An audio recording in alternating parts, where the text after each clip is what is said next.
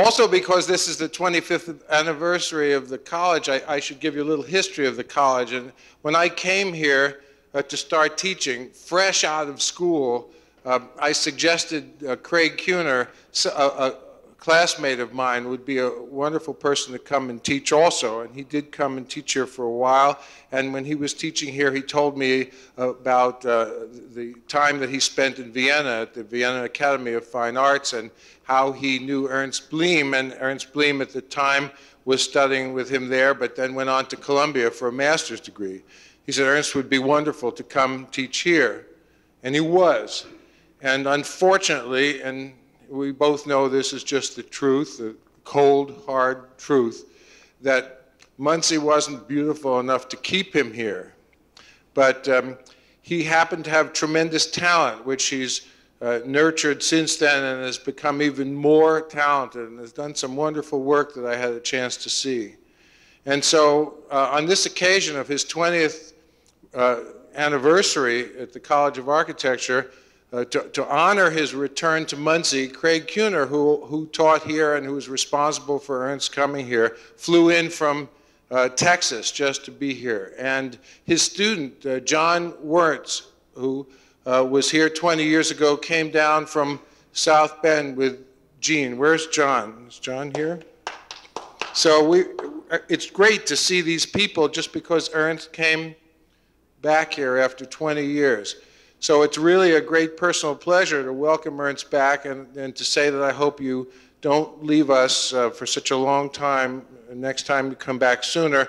And on behalf of everybody here and all the polyarch groups, and I know there have been uh, summer travel groups, the Arkaba group, and previous polyarch groups, and my son and myself, and all the people and the students uh, who you've helped, um, we really are uh, in your debt for all the things you've done for our college and for this university, and we're delighted to have you back here. And we, um, I would give the title of your lecture, but I can't pronounce that word. And um, I leave the rest to you. We're very happy that you're here back with us.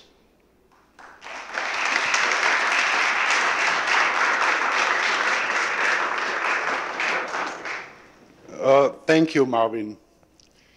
It's really funny that uh, exactly 20 years ago, uh, almost at the same week, I was giving uh, my first lecture in my life at Ball State University. It was across the street in a dark, uh, nice room. Marvin, I think, uh, he asked me to substitute one of his lectures, and uh, I gave a talk or I was uh, reading something out of a manuscript. I was talking about vernacular architecture on Greek islands. And uh, I was reading all this stuff and I showed a, a, couple of slides. And when I finished this thing, only when the lights turned on, only one girl was sitting in the lecture hall. And she came up to me and excused herself that my lecture took two hours and uh, Marvin's lecture was supposed to be only one hour. And so everybody had to leave for another class. So I really hope that this doesn't happen a second time uh, to me, that uh, you are the only one who waits for me until I am finished. I try to make it very fast. Uh, as fast as you ca uh, can uh, shrink or pull out 20 years. I would like to talk about 20 years of my profession, not about uh, the other things which might be much more important to me, but about my job as an architect. Could you turn off this light, please, and uh, turn on the slides. When Ernst was coming here, he said there's an old saying in his country that a criminal always likes to return to the scene of his first crime. This was 20 years ago when we came from New York, or Craig from Philadelphia. Craig sits on the right side, And on the left side is his son Chris, who is in college now. This was the uh, School of Architecture. There was another guy I didn't mention, Pliny Fisk, uh, a very good friend of us. He was supposed to come, but he uh, uh has to give a lecture some other place. We were living out on a, on a farm in a little hut, and I tried to rebuild this little farmhouse to have uh, some environment to stay and work in. We did everything by ourselves with just cardboard and plywood and paint. It was a this kind of living environment without movable furniture. Uh, only the TV was movable and the yellow and white thing on the right side I found on a junkyard just to furnish uh, the place in Muncie. I was uh, doing a little uh, uh, house edition in Muncie, also 20 years ago. I haven't seen it uh, yet, but I think it still stands up. One professor from Ball State University asked me to uh, give his house a new entryway. Most American houses uh, have a formal, right? Fine. They have they had a formal entry, and uh, since everybody came by car, uh, the back door became the main entry, and so I uh, tried to make an entry space between the carport and the house. Uh, after we got the costs, the client uh, said that we have to do it for the half price, and so we changed the design. This round uh, space, which was supposed to be enclosed by walls, uh, we enclosed by just by bushes and trees. And uh, I have to say one thing at this point. I built this with a student, with John Werns, who came from South Bend. We were working, I think, four or five or six weeks, and we did the whole thing. And it was a wonderful time.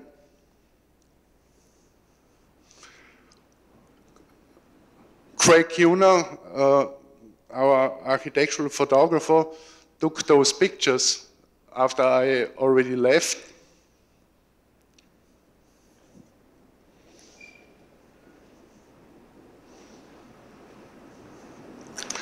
Uh, Dr. Renke, our client, I feel very sad about his uh, dad. He had an accident a couple of years ago.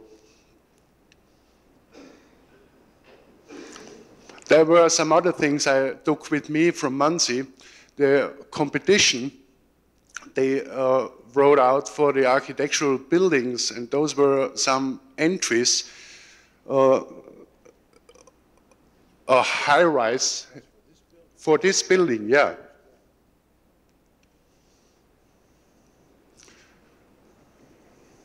And uh, the right thing, uh, if I remember it right, was done by your dean, Bob Fisher.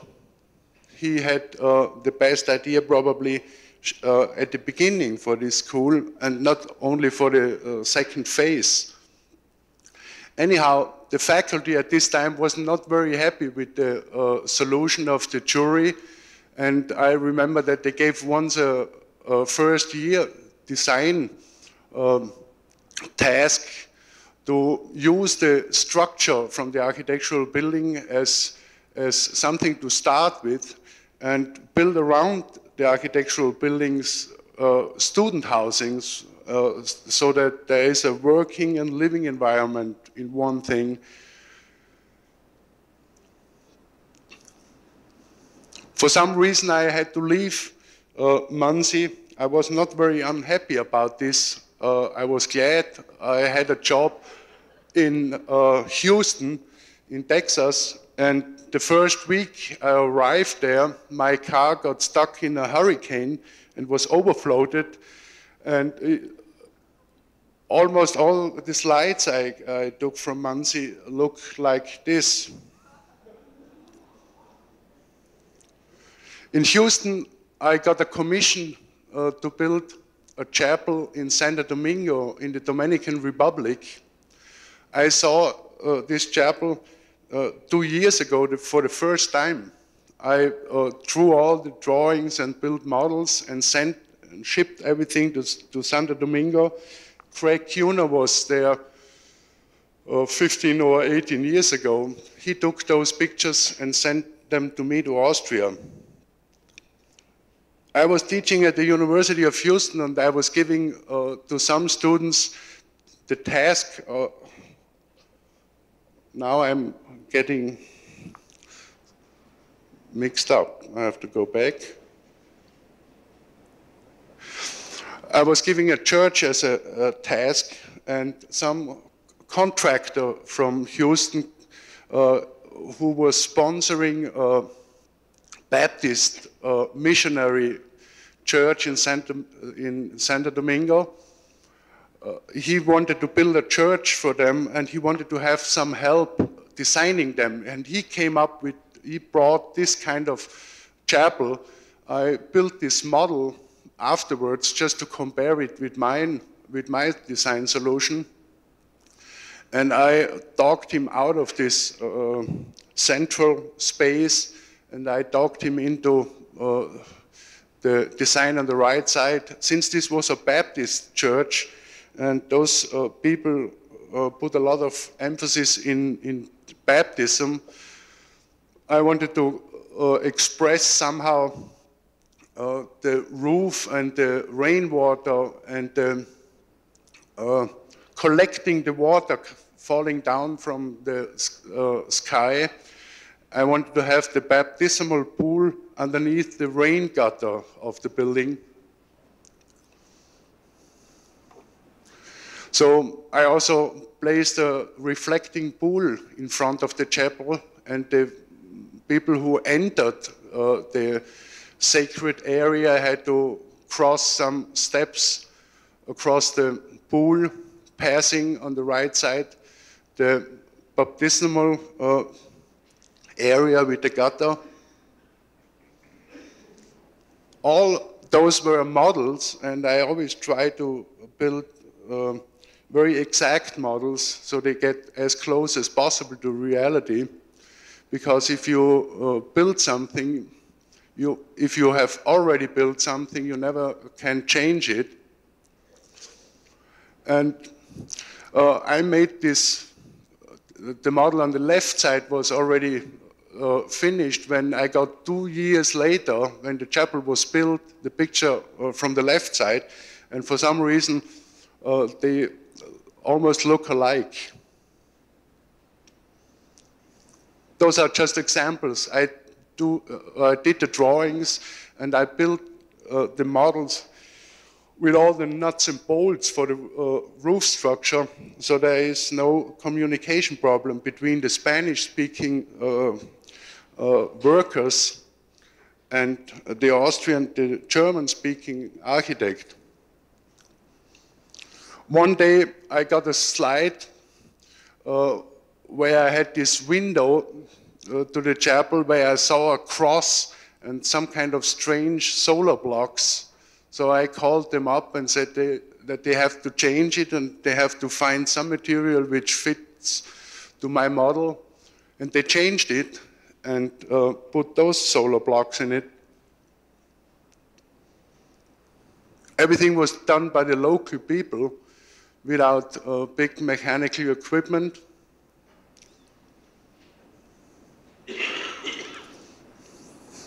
This is a scene where uh, Texas uh, priest is baptizing a girl in the pool. And there was one other thing I uh, like to mention. I was studying at Columbia, and they once brought out a, a sculpture competition at Columbia University. And I won uh, this competition, and it was supposed to be a 20 feet high aluminum uh, piece, like you see on the left side. Alcoa uh, wanted to build it, they sponsored it, And then when I spoke with, with those guys, they asked me to find a place where they could put uh, the name of Alcoa to the sculpture.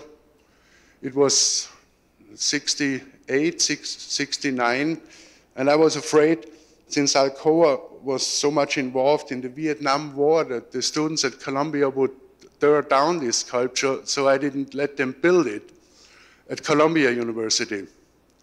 Uh, and then two years later, I uh, built it in front of this chapel.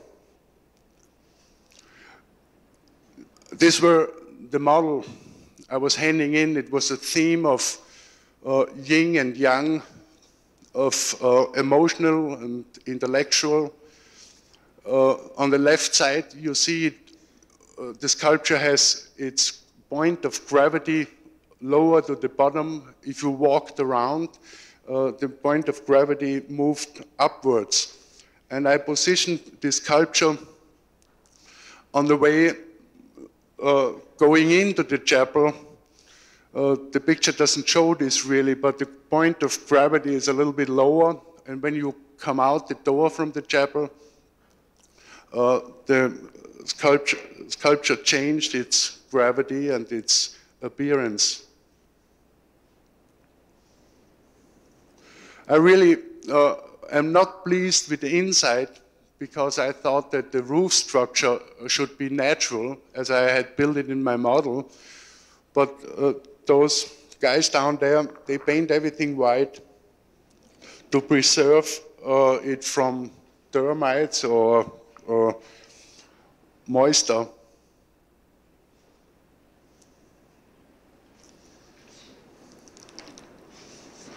On the right side is a, a picture Craig Kuhner took, and I think he won an Indiana Photography Award for this. And the left side I took two years ago when I was there, the first time there. So the whole thing changed and aged a little bit, and I hope it changed uh, with it aged with dignity. The only thing I really hate is uh, that they uh, made a little swimming pool out of uh, this area where the water came, comes down. So the, the people who are getting baptized don't have to get into the dirty pool. But I left Houston and I went back home to Hall in Tyrol, my, the town I was born, and I inherited there uh, an old house and a landmark. And so I always was planning to, get, to go back home once.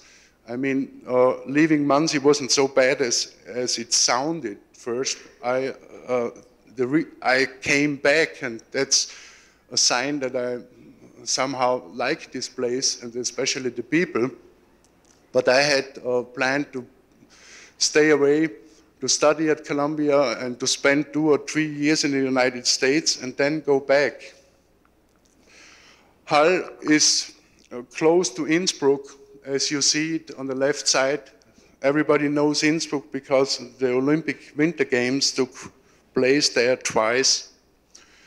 Hall is also the place where they minted coins in the 14th century. They minted coins with the they called thaler, and uh, without being chauvinistic, uh, the history says that the thaler was the forefather of the dollar. It was a currency used uh, all over the world, and this tower is our, as the Eiffel Tower in Paris, this coin tower is the sign of my hometown. It's a medieval town, and uh, it received its township 1300.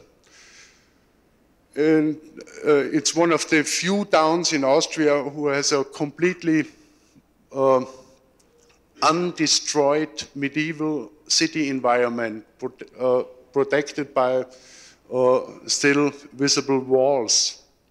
And just on, at the east of this town, I have this house which was uh, a recreation house for Jesuits, a monastery. You see the hall on the upper side of the right slide, and you see a view, a drawing from the outside.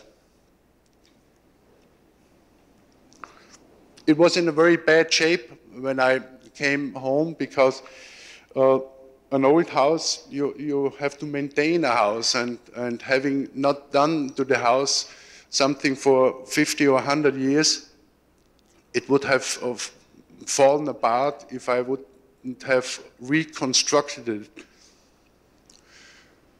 Yeah, this is the situation of the house. Maybe uh, a quarter of the mile outside the city.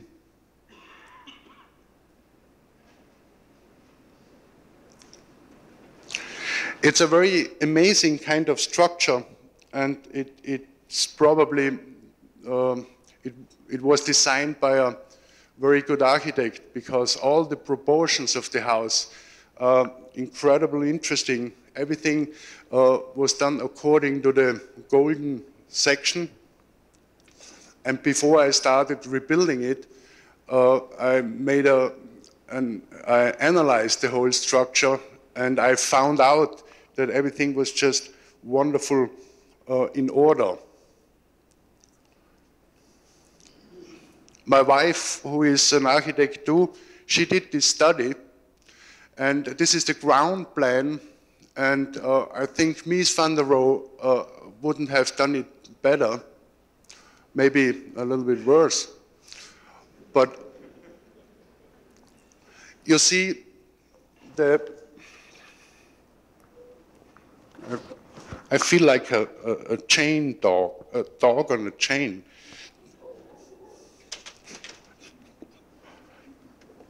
Okay.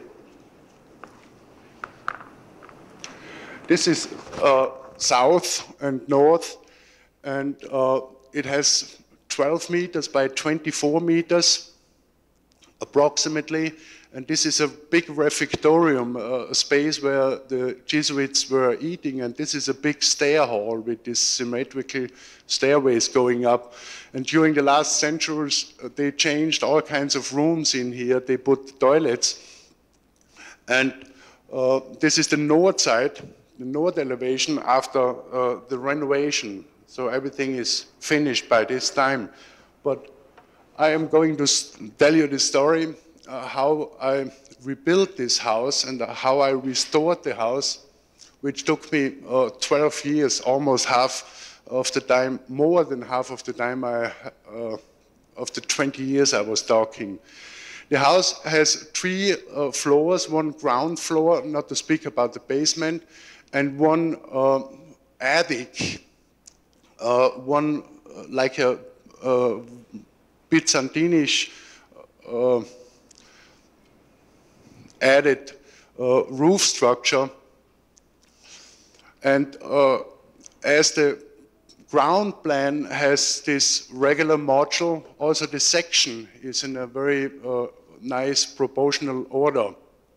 The house had, uh, uh, for some reason, they built uh, new chimneys. This was the old chimney.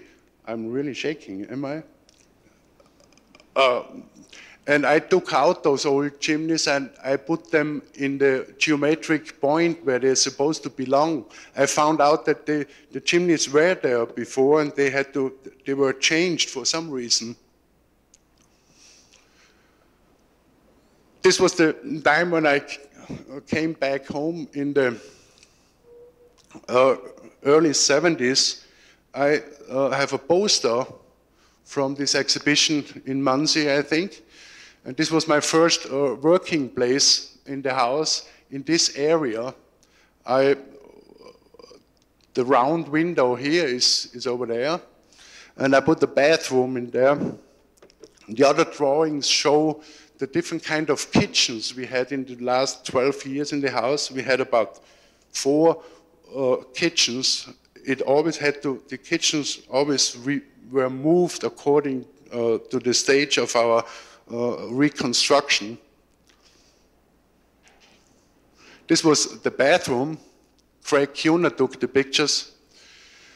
And uh, I realized that I built this bathroom just for four years. Then I changed my plans and I had to take out, to take everything out again. So you see, it's a, a reconstruction uh, going backwards in a way.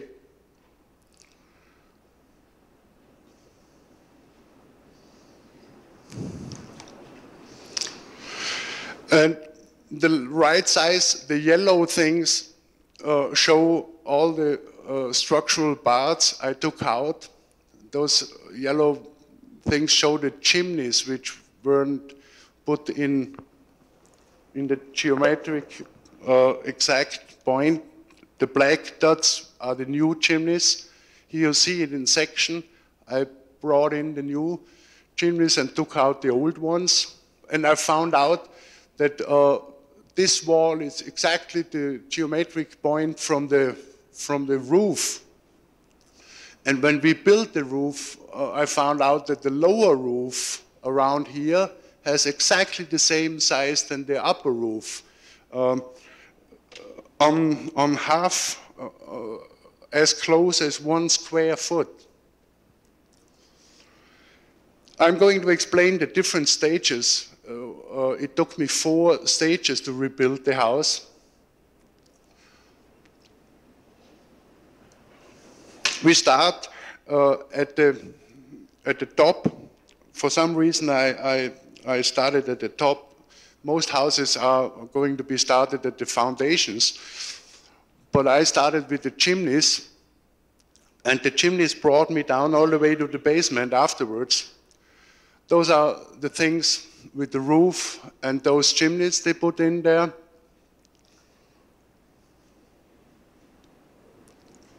And while I was taking the roof off the house, I saw all kinds of new light uh, experiences in, in the house. So I changed my mind and I uh, built uh, skylights. This was the space before uh, the rebuilding and on the left side you see the space after the rebuilding where the light comes through the roof and goes all the way through this stairway to the ground floor and this is a nice experience because it changes uh, while the sun is rising. Here, there are different phases. The brown thing always says the construction site. Uh, during the first phase, the, almost half the house was under construction. I was, uh, I had a, a living area here and an office area there. The second phase, I, I moved with the office in the large refectorium and I was rebuilding this part and we were living in here. And the third phase, I was uh, uh, rebuilding the refectorium with, uh, with the part where we were living before and the upper part. And we moved up into the third floor. And uh, the fourth I forgot uh, what this was, but I think it just shows this is my office space right now, and this is our living space, and the yellow thing uh, was supposed to be our, our guest room uh, space, but since uh, we have more kids than we have planned, uh, they already moved up there. So this is the different lightning, um, natural light thing, which uh, uh, changes the space. The more um, the, the sun hits only the white wall, uh, this space underneath is, is very light, and the more it hits the stair with the red uh, carpet, the space uh, changes its color. This was the stair hall before I started reconstruction uh, it and restoring it. You see this entry. Uh, this is a bad example, but we had to take off all this marble paint. I hate to tell you, Art Shaler, uh, that uh, we take marble off the wood and to, to have it natural, but probably it wasn't uh, uh, such a nice job you do. There you see uh, it taken, how it was taken off.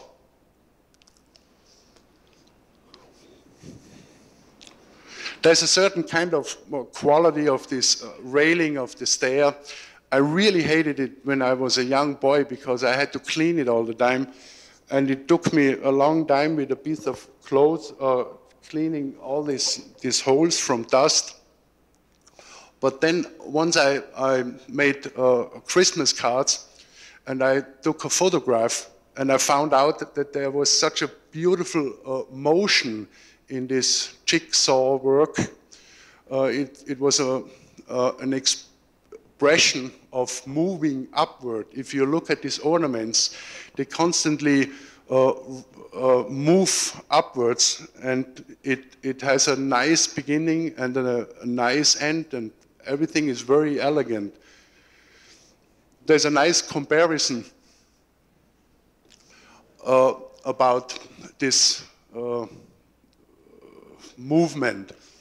You could do it with grace, or you just cut, you just could fall like a, a sack.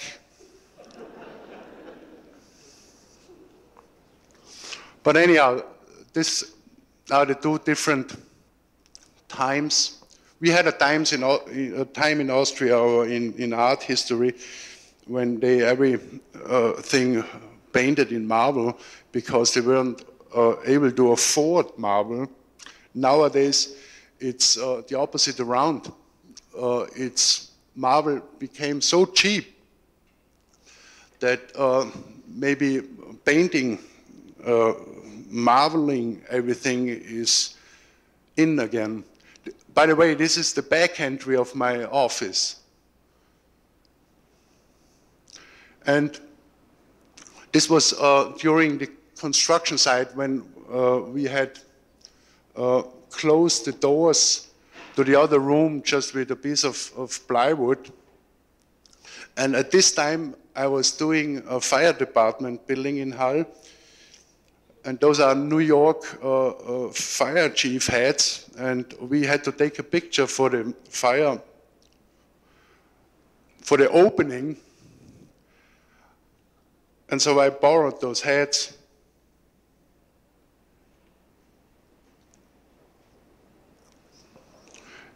this is this building uh, outside of the town of Hall. Uh, the old medieval town wall is just up here somewhere. Uh, the people who stayed in Hall from Ball State, they lived in this uh, hotel tower. They might recognize this. Uh, this title of my lecture, Autochthonous Architecture, uh, I don't know. It isn't really true that I am going to talk about autochthonous architecture. We are doing an exhibition about Tyrolean architecture in, in New York next year. And uh, Kenneth Frampton had the idea, since he saw some uh, stuff we do, that autochthonous would be the right word for this, for this uh, thing. This project is the only project included in this show and uh, I had to look it up by myself in Webster Dictionary what autochthonous means. And it means something uh, indigenous or grown only a, on a certain spot, or I, I, forgot everything else. But it's a fire department building uh, with all the uh, garages for the cars in the first floor and social rooms for the firemen on the second and uh, public housing or housing uh, apartments for the city employees on the on the third floor.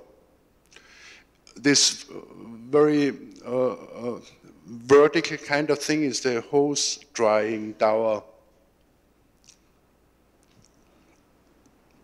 Again, uh, building the model very carefully. Uh, I was very sad that this is some kind of a louvering uh, sun protection. They never, they refused to make this. And I really would have liked to have this thing coming down because this elevation was somehow a play for me between vertical elements and uh, horizontal elements.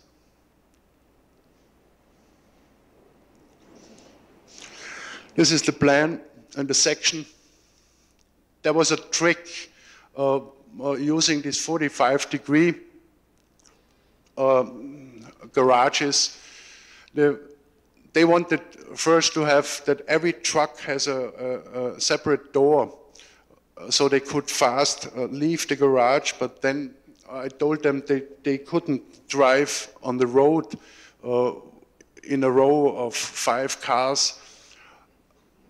So I, uh, I brought them into thinking that they could also stand behind each other, and, it, and this changed the elevation. Uh, it was somehow, it, it broke down the monotony of, of straight garage doors. I also digged it in a little bit uh, so the building doesn't get too high.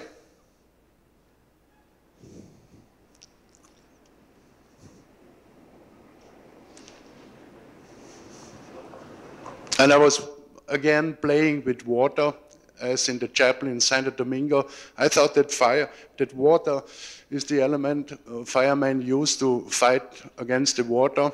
And I was afraid that they put some strange piece of art on the building.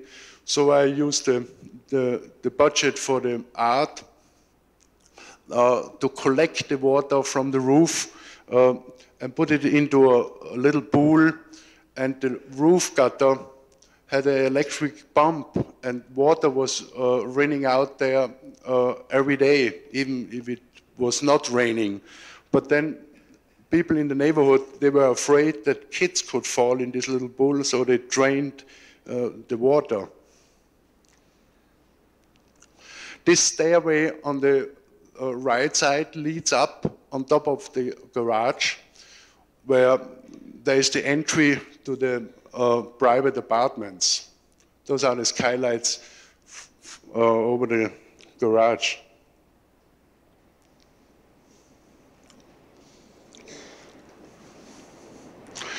This was the first scheme uh, of the uh, fire department, and um, I changed the design, and I thought that I might burn it. But back to my house, I'm telling this story in a, a chronological way, uh, so I don't get uh, messed up uh, and I only uh, try to show you the things somehow I liked, I did. There are many other things I built uh, I don't show. But uh, now I am in the second phase of the construction. Uh, this was my uh, small office in between. This was a, a little space in this area. And I took all the yellow walls out and you will see at the end how this office space looks like.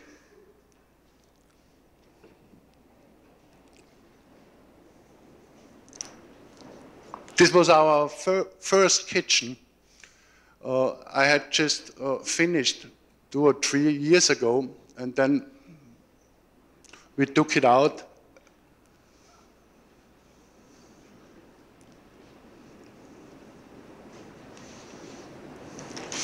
And the area of the house in this phase uh, is this area. I took out this ceiling and instead of have, having two uh, uh, floors, I changed it into three floors. I had to take care of this load from the upper story and I put I-beams in there with braces. As you see, those are the old beams, the old wooden beams. I took out.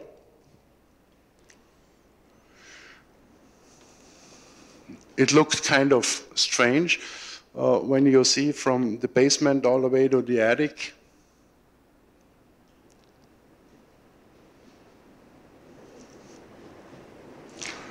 And this was the entry, the old entry of the house. And this is the stage where the second or the first ceiling uh, to pour the concrete for the first ceiling. The, the second ceiling is already poured. And here you see the whole history of uh, elevation of a house, how it's changed.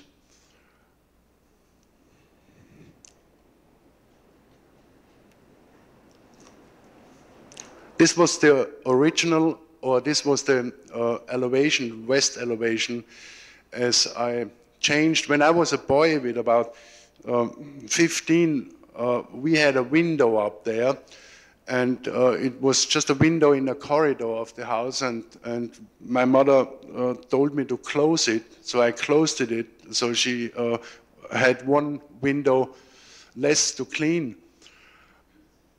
And then I opened it up again uh, because I thought that this elevation, as time changed it, just wasn't uh, good enough for the scheme of the house. I had to do all kinds of uh, schemes uh, in order to get it approved by the landmark committee. Uh, it could have been possible that it was like this. Uh, I wanted to express our or my time this is the site, the street level, and this is the uh, level where you enter. And for some reason, I wanted to have this motion going down, expressed in the elevation on the uh, on the elevation, but the landmark uh, committee they just smiled about this. Then we made a compromise, as we always make, have to make. Uh, and that's the way how it turned out to be. So I, the only thing I uh, changed was I just put a little window in this part of the elevation. I used the stone uh, of the old uh, entry, a piece of marble on the new one,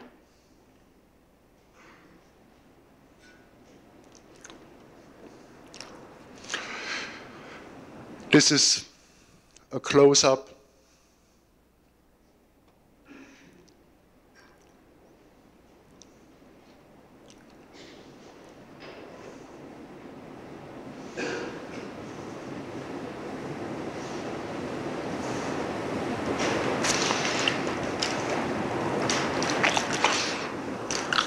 And those are the new office spaces in the, on the first floor uh, of the second uh, construction phase.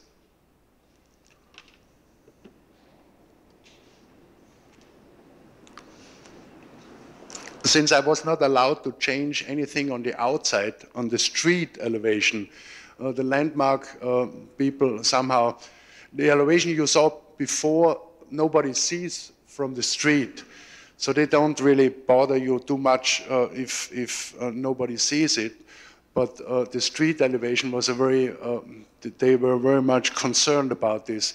So I had to put this ceiling of the first floor, I couldn't touch the outside wall uh, because I would uh, uh, change uh, the window. So I just hang it, hang the whole, hang the whole thing from wall to wall without touching the walls outside and there's some kind of a, a nice relation, relationship between the upper level of the office and the lower level of the office. The yellow thing is again all the structure I took out.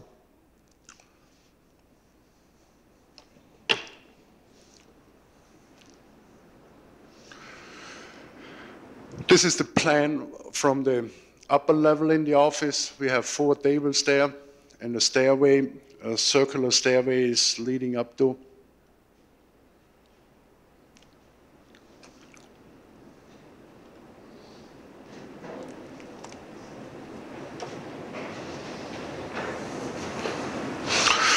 On the left side is the elevation as it was, and I found out that the three big windows in the first floor, they were uh, built, uh, they were not original, and so I changed it, and I made only small uh, windows.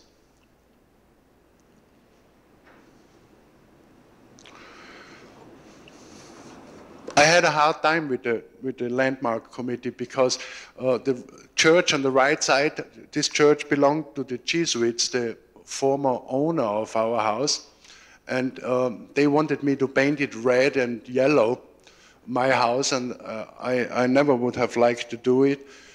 Uh, it would have liked as Charles Moore probably would have done it. And so I, wanted to have it uh, white and gray. And I was talking with them and they approved it. And then uh, the painter already started. And then the uh, guys came and said I was completely wrong. I was planning to uh, paint the, the flat surface uh, gray and around the window and this mullions uh, between the elevation and the roof, I wanted to paint this white. But they said that that's not the right thing to do. This uh, gray thing, they imitate stone, or they are supposed to imitate stone, and so I have to paint it gray, paint it gray. Uh, I had to do them because most of my uh, involvement, my financial involvement uh, was tax deductible as long as the landmark committee approves it. And so they, they really forced me to do it. At the same time, I did a house in the city of Hall where they allowed it, uh, me uh, completely the different way, the way I wanted to have it. Around the window, white and the elevation gray, because it increases the light coming through the window.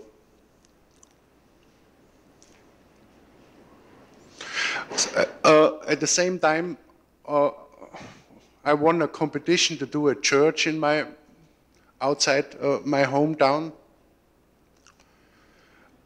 on a new housing complex. It's a, a, Catholic church, and this was taken by a, um, by somebody uh, just at the day the church was opened, because this is only decoration.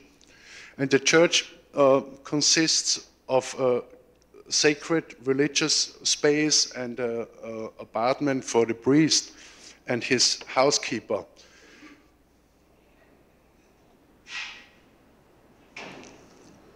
Those pictures uh, Craig Kuhner took last year when he was in Austria.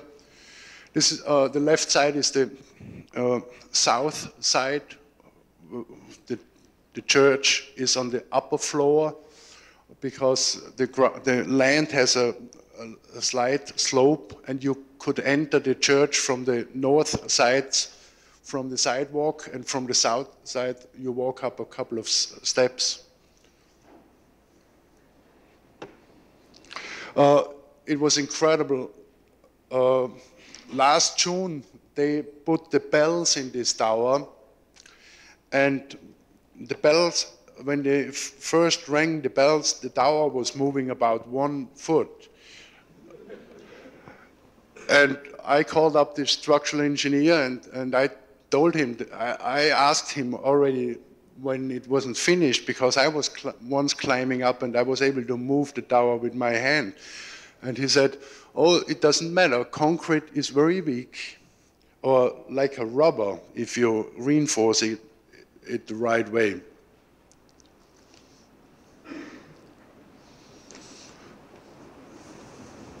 I wanted uh, to have a very low kind of church so it fits, it doesn't uh, fight with the high-rise apartment buildings around.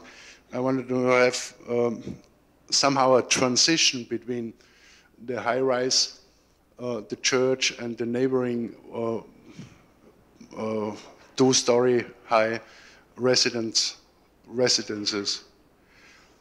That's the interior, and I always have to look at my models because they uh, come very close to the reality. The right side is a, a, model picture, and the left side is a slide Craig took, I think,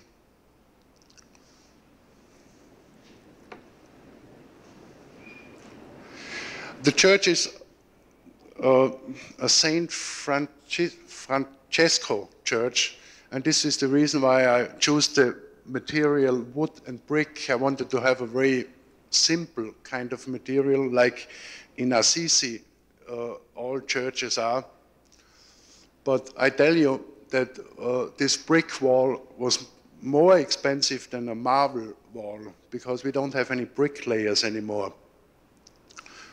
I also wanted to have a completely difference between the exterior and the interior. Outside, very sharp and white, and even with, with 45 degree corners, and inside everything square and warm and uh, with bricks. We did a lot of studies um, on the lightning in the model, and we measured the light coming in, and this uh, over this, uh, how do you call this, light coming from above? Uh, skylight. Uh, I found out uh, during the model building stage that too much light coming into from this area and, and uh, then we corrected it and we made some wooden um, louvers there. Yeah, those were the tricks, how we checked it, the model and the roof structure. And this model was only about uh, one and a half feet by one and a half feet. Between the Parsons house and the church, there is the sanctuary with all the preparation rooms. There's a little chapel uh, underneath the sanctuary, and this window uh, serves two rooms, one for the priests and one for the boys and girls. And this is just a, a fake up, that's a mirror. So uh, a room would really look strange if there is a window just at the corner. Uh, below the church, the main room, there is a social uh, space for the neighborhood where they could gather together and have parties. There's a public small library, and this is the chapel I mentioned before.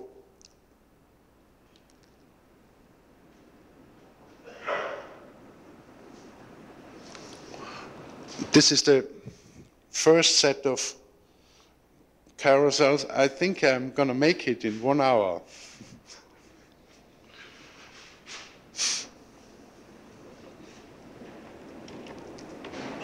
I'm back to my house and ready for the third construction phase, which was the most complicated one. And this is the plan of the uh, second floor. Uh, this part belongs to the office. This is the stair hall, the stairway. Uh, this space was my first little office space after I came back from uh, the United States. And up there, I took out every wall. I had to take out every wall because all those, uh, they were wood uh, walls with stone infill. And the whole structure uh, was hanging about a foot. This ceiling over my big office, over the refectorium, was hanging uh, as I said, one foot, because it got the load uh, from the uh, chimneys they had built in there. This is a chimney uh, 20, 30 feet high, standing on, uh, sitting on wooden beams. So I, I took out all those uh, load carrying walls, this one and this one, and I put steel beams up there to hold up the upper story.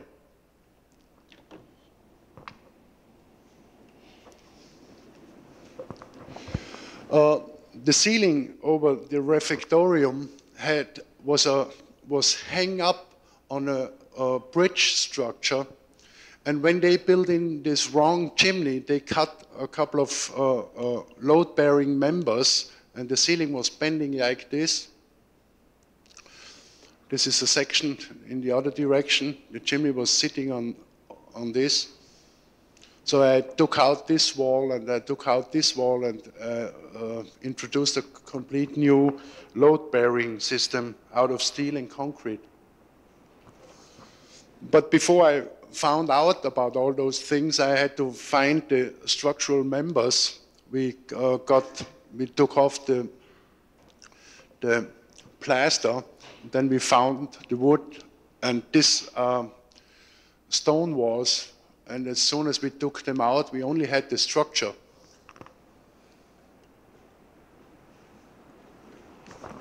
And it was quite complicated because the ceiling in the office in the refectorium was a landmark as well, um, Renaissance type of wooden ceiling. And I had to support this ceiling with, uh, so I, I, I, didn't destroy all those mullions. And I had only the, uh, only the ceiling was left. Everything else, the wooden beams up there, I had to take out.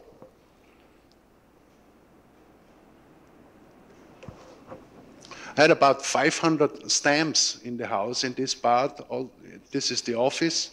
And it all uh, went down all the way to the basement. And uh, in this forest of, of, of uh, columns, we had to bring in the steel beams, which was quite difficult. They are very heavy. There you see this bridge uh, structure, and we had little, very uh, uh, little doors. Uh, everybody had to bend his head because of the, just because of the structure. And there you see where it was cut apart and where the whole thing was pushed down.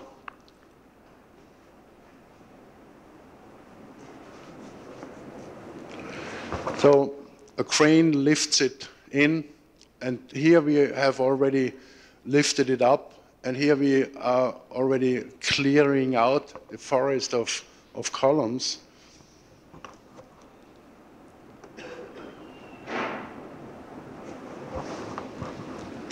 And that's the way we did it. Uh, some walls we exchanged uh, to, into concrete walls, and this is the steel structure, and uh, this is a, a suspension who pulls uh, the load up. I was thinking I, I, wouldn't like to have too much concrete in my house and, and uh, I wouldn't need to pour everything in concrete. So since these spaces were the children's rooms, I thought I'd make big holes in the wall so they could communicate. I tell you, uh, that's this was the first time I had, the first thing I had to do when they moved in to close those holes, holes because they, everybody uh, wanted to have their own privacy, and that's understandable. So you see, those are the beams I had to take out, and they uh, were rotten like this at the exterior wall, because as I said, the house was built as a recreation house, only used in the summertime, and since 150 years, uh, it was used also in the wintertime, and people were cooking in the house and heating it, uh, creating a lot of moisture and humidity. And since the walls weren't uh, insulated well enough, uh, the air um, uh, uh, became water on the outside of the wall. How do you call this when thing like this happens? Condensation, that's right.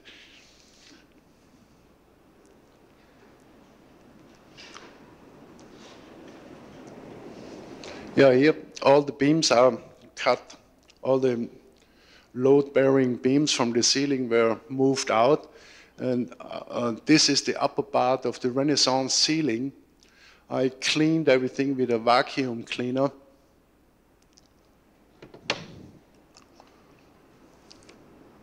And then we started uh, the new uh, ceiling. This is a prefabricated uh, steel concrete uh, beam with concrete walls, and the green thing is uh, poured concrete. And I had to hang up the Renaissance ceiling with this metal thing.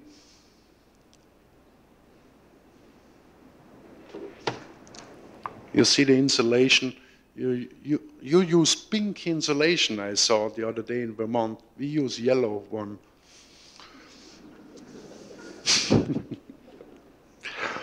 but anyhow, this is the new ceiling. It's a prefabricated thing you could buy, and you could just uh, put in place very easily. And the next day, we poured the concrete.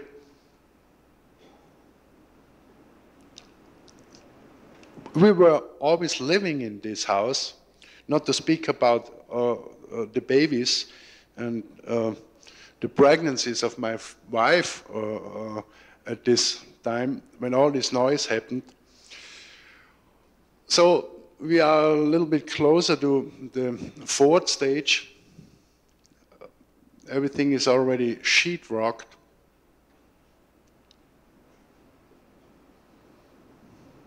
I wanted to uh, use a wood burning stove because I got so many wood out of the house that I uh, am able to heat it for the next uh, 30 years.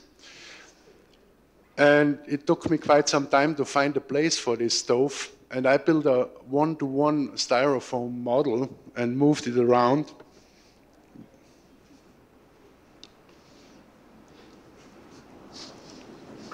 And after I decided uh, on the shape, on the form, this is the wood-burning stove, and this part is uh, um, also a tiled stove, but it has electrical wires in there, so I could heat everything uh, electrical as well. Those were the tiles for the stove. And we did our footprints. The whole family uh, left their footprints on the tiles, which walk over the stove. And here are those guys who, who built, built it up. It, it took them a week to do it, and they really did a, quite a good job. Those kind of stoves, they are uh, used very often in the Alps. Uh, the farmers used it as well as uh, kings and queens, just in different shapes, simple ones and more sophisticated ones. I don't have very good slides from my uh, oven. The company who made it uh, made some commercials, and they, uh, I took pictures from their uh, pictures this part of the house uh, we don't heat. And in the wintertime, we had to put the butter in the refrigerator to keep it uh, soft enough so we could smear it.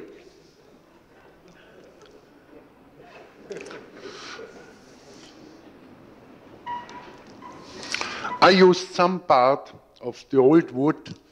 Uh, this is about 400 year old wood and it has a very narrow, how do you call those lines in the wood? Rings, yeah. Uh, it, the rings, there were about 150 rings from, from the center to the outside, which means that this wood was already 150 years old when it was uh, cut the first time 300 years ago. I'm not going to burn uh, this kind of wood. So uh, our apartment is finished, and that's the plan how we uh, live. Uh, I wanted to have some kind of a dimension in the house. I wanted to uh, see from one end to the other, uh, and this is uh, the view where you could look through. This idea is not too good because someone needs privacy and uh, visional things and uh, psychological things are uh, something completely different. I had a door in here, and the door uh, you saw first was a glass door only, and my uh, wife refused to sit in this area because everybody who came into our uh, apartment uh, just just ran into. There was no transitional space. Then I closed this door. I just couldn't stop rebuilding the house, I guess, and I opened the door here. And then I found out that it was much, much better to have one axis in this direction and one axis in this direction. And I had uh, for some reason, I had planned it anyhow before. This is the living room, and the structure I painted yellow, and in between the structure, I put some mirrors. So uh, it, everything uh, is a little bit lighter. You don't see the load uh, which is carried. I also took out, I cut off out this beam here, it was rotten, and so there are other beams, uh, structural beams still in there, I covered with, with sheetrock.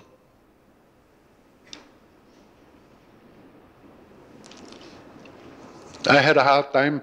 Uh, uh, I did my planning all the time on the site. I didn't do it uh, in my office. And so I had a, a real difficulty with this point where the structural rods had to go through the partition wall between the corridor on one side and the living room on the other side. But since I, I, I made most of those things uh, by myself, I'm not playing tennis and I'm not playing basketball, so uh, I have to have some kind of a physical effort uh, to stay healthy.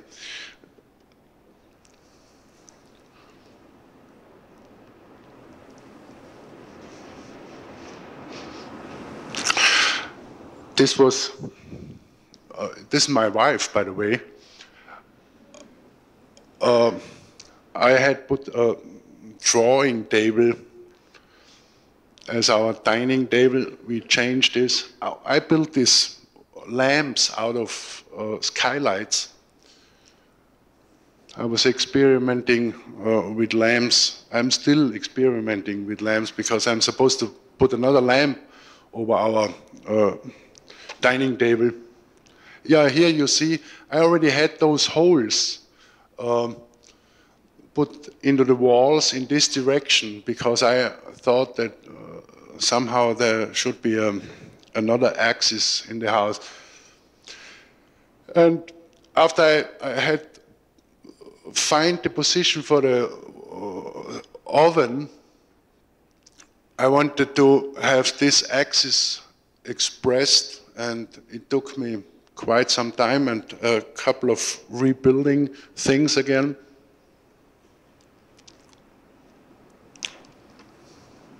This is the new door. And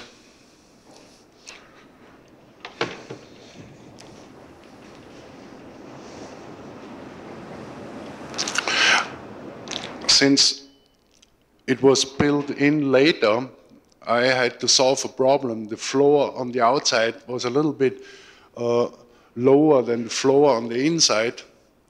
And so I uh, made it with a piece of marble, this step between inside and outside. There is a little slope going up. And I did this by myself, and I really had a lot of fun because I used uh, all the marble samples I had in my office. Small little pieces. This is an Ar Argentinian onyx, uh, just maybe two inch by two inch.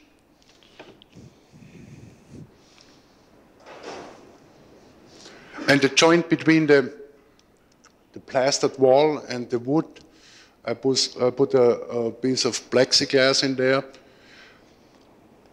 So you have some kind of the illusion that the door is, is just standing uh, and you have windows uh, left and right with a half an inch width.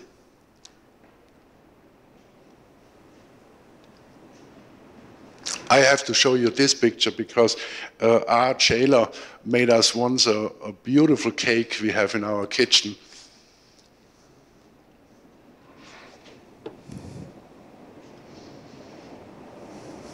Oh, this was another story.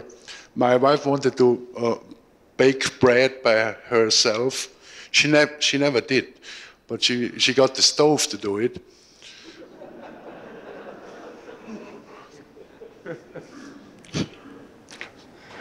and this is the living room, and, and um, in front of this wall, uh, this stove is, was put. And I, I was working on this marble on these pieces, those, those were leftovers from another building I did, uh, about three weeks to find a solution, how I should use it. And it's quite a funny thing, because you play with these ornaments, uh, like with a wooden veneer. If you have a chance uh, to, to use the natural uh, pattern of the thing, you, you really should do it. And after I had cut the marble and I, after I had polished it on the other side so I could get mirror images, this guy, he put it wrong in there. Uh, you see, this one, uh, this uh, piece uh, was just upside down and I almost uh, took it out. Those were the pieces I, I found at, at my uh, project. And you could uh, either make a design like this, if you turn this around and uh, polish it on the other side, and then I, I could have a, a Austrian alpine uh, mountain scenery. What I didn't want, but uh, since this was a wood burning uh, bread baking oven with fire and smoke, I tried to uh, make us uh, some kind of a symbolistic uh, smoke design. It, it was fun. Uh, this was the building I was doing at this time, and you see the same marble on the floor. I uh, I didn't steal those things. They, they really were left over it was a community uh, hall for a village, a Tyrolean village, as you see, with brass band and everything. A, a multifunctional uh, hall. On the right side is the stairway leading up from the foyer to the ballroom. It's a very simple building. And this was the existing site and there is the church and the community center and the guest house and the post office and the farmer and those uh, buildings uh, with the new one I put it uh, in a in a way onto this site so it, it creates a public space. It's very very simple but people they they like it. I am back uh, to the house again. I, I hope uh, I have only two American flags, one in my office and one I had in my bathroom. My wife took them away from me because she thinks that I am too crazy about America. So, uh, anyhow, this was, uh, this is exactly the same uh, spot uh, before the construction and after the construction, you see the roof from the neighboring building outside. This was the main corridor where I put a bathroom at the end.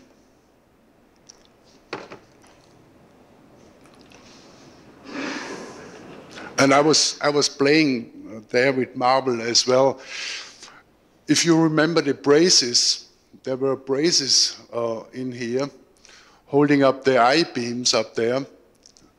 And I was looking for two years, I was uh, looking for a piece of marble which uh, would uh, have a pattern which would follow uh, the brace uh, inside.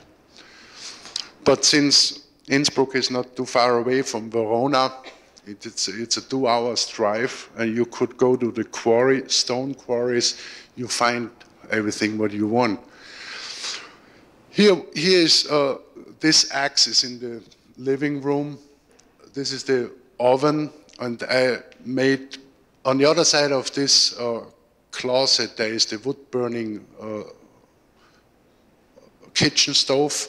I wanted to have a mirrored kind of uh, thing in the furniture. Those two things go together. I am not very happy about this anymore, but I had a cabinet maker, a very unpractical cabinet maker, a very talented guy, but uh, he, he just always did what he wanted to do. And so it turned out to be somehow a, a postmodern kind of thing. I took away this uh, top already. It was on the stove here is a leftover from the bathroom marble.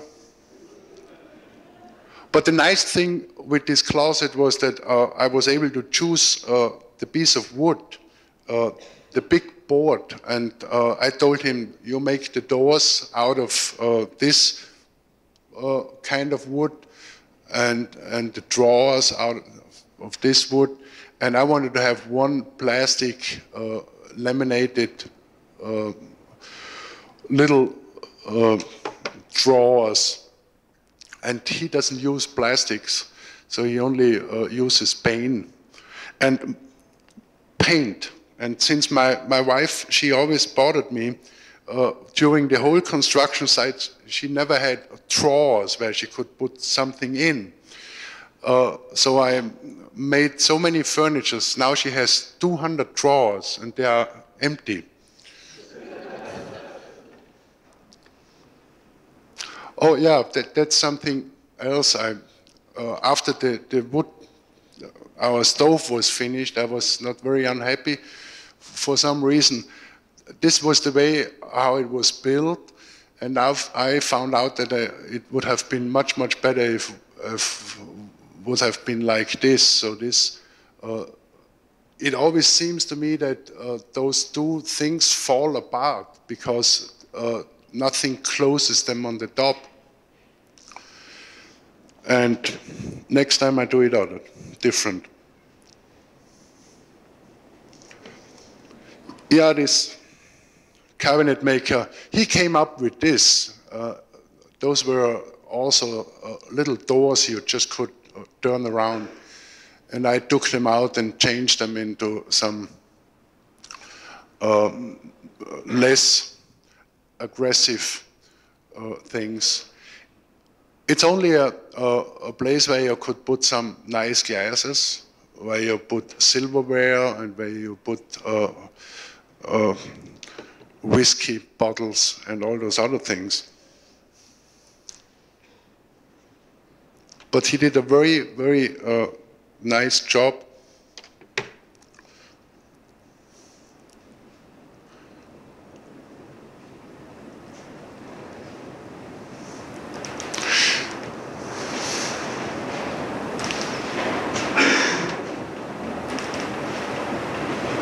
And he doesn't even use uh, uh, a paint.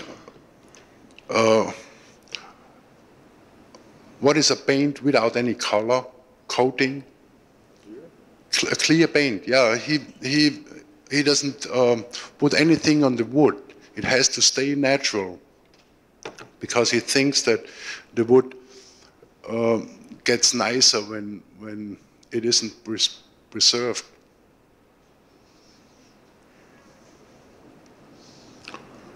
Yeah, those were the. He, he didn't do me all those little wooden strips so we could put the silver uh, in it, so I had to cut it by myself, measuring out knives and forks. So you see, I took uh, the top off and it looks much nicer now. Oh, we finally also got a, nice, a new table. uh, Italian one, a convertible table. You could uh, make it larger and bigger. It's, uh, it's a mess. Uh, yeah, we got also a seating group, and since we have a very democratic family, uh, everybody choose their own color. The lamp once fell down and broke. But this painting, uh, a friend of mine did, uh, it's, the title from this painting is uh, Slowly, uh, Parts Are Falling Very Slowly. And, and I wanted to use the parts from the lamp to make some kind of a mobile, but my wife threw it in the garbage.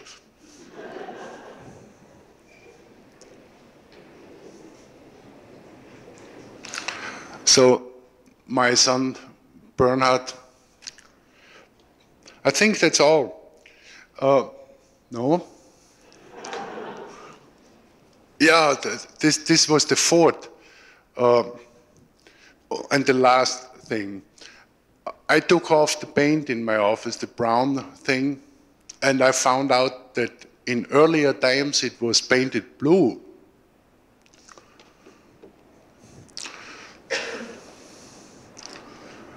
And now it's white.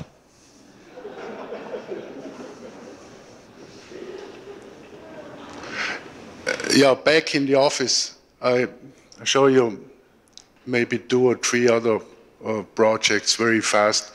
This is a housing uh, complex I did in Innsbruck for uh, 75 apartments. And I wanted to since it's, it is a social housing and uh, housing with very limited budget, I wanted to play uh, with the circulation, uh, how do how people go to their apartment, and I wanted to express this uh, on the outside. I didn't want to use stairs uh, going from the first floor all the way to the top floor, so I, I had a circulation system where people meet and where people uh, separate again before they uh, go in their apartment.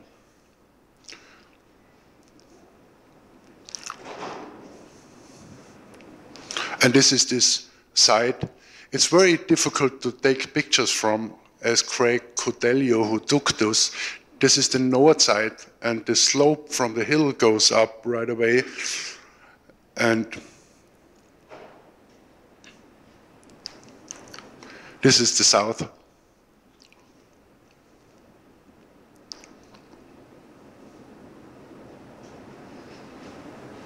Oh, yeah.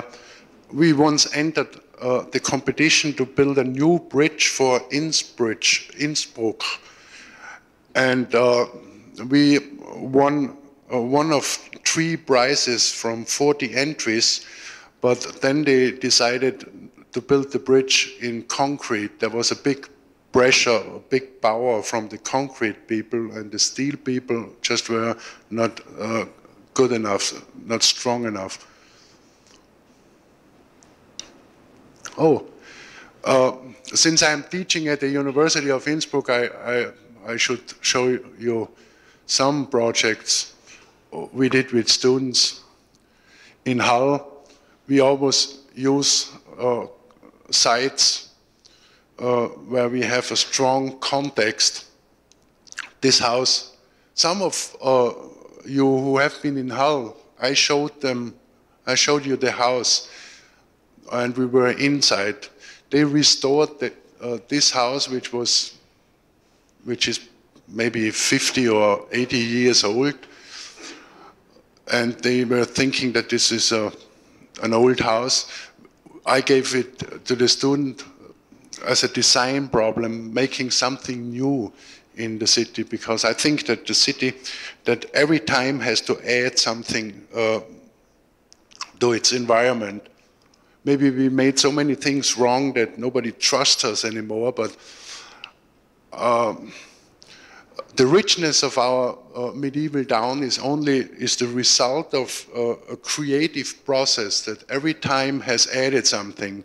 We have something Baroque, we have Gothic, we have Renaissance, we have uh, Rococo, and now we, we, we have nothing anymore. We have to uh, play, uh, we have to restore theater scenery.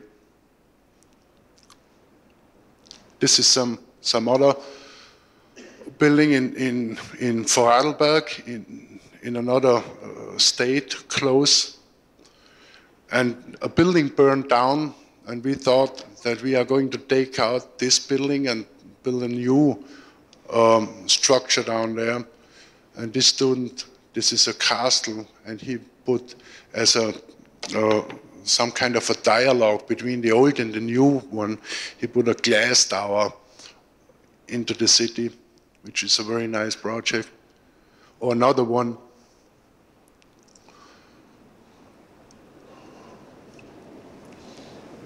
I mean, I know that we are very rich in having beautiful sites.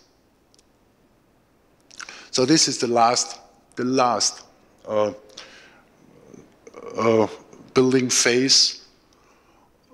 We took out a couple of trees in our garden after Chernobyl hap happened, we, our kids couldn't walk out uh, for a week. And I always wanted to have a swimming pool, so we took away a couple of trees. And uh, my wife uh, likes to collect hippo, hippo, how do you call those animals in, swimming in, in, the River Nile? No. Hippo. Yeah, she collects hippopotamuses. And and I, I, I, I, was talking her into the, the, into the landscape design because I, I made the, the head of a hippopotamus, as you recognize here.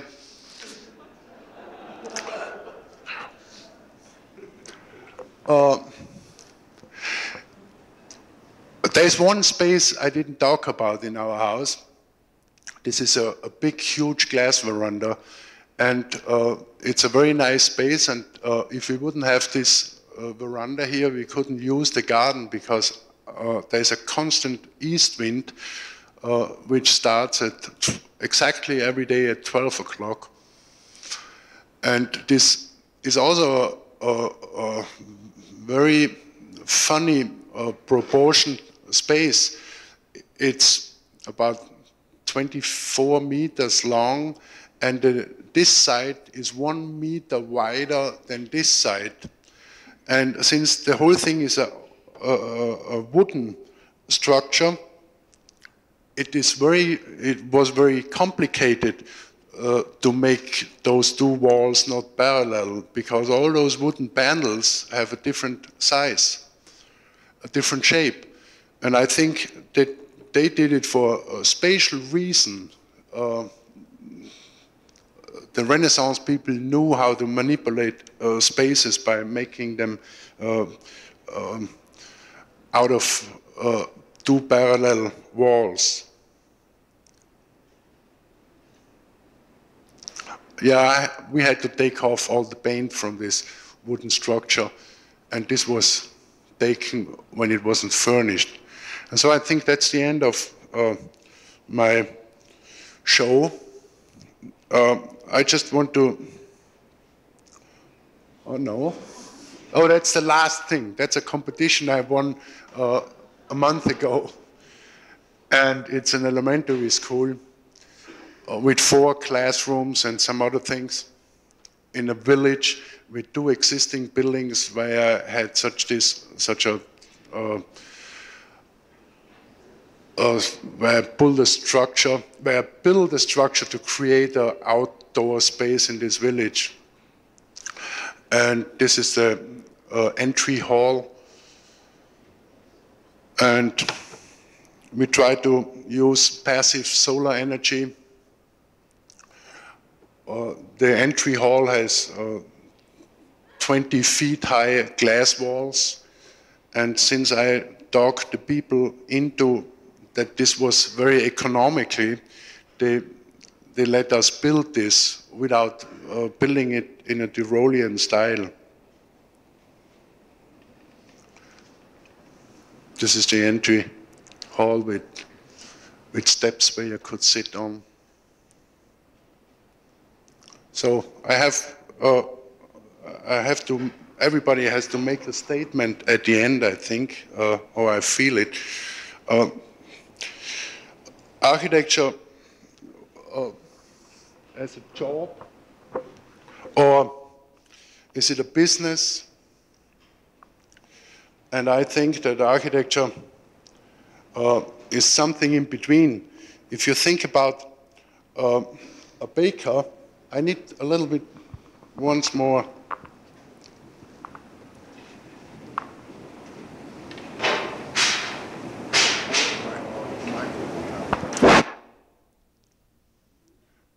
Already took one carousel away. Did you? Sorry. Just go to the end.